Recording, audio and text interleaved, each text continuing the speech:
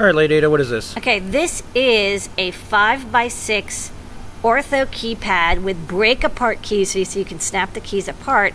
And I'm testing it as the full grid of 30 keys, 5x6 in a matrix. And these are diode matrix together so you can see all the rows and all the columns coming out here to a Feather M4 that's running micro, micro Circuit Python, which is a fork of MicroPython.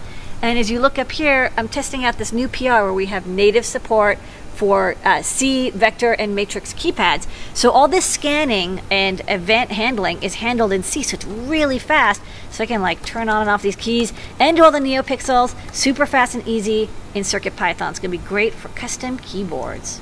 Getting glowy. Beep, beep, beep, beep, beep, beep.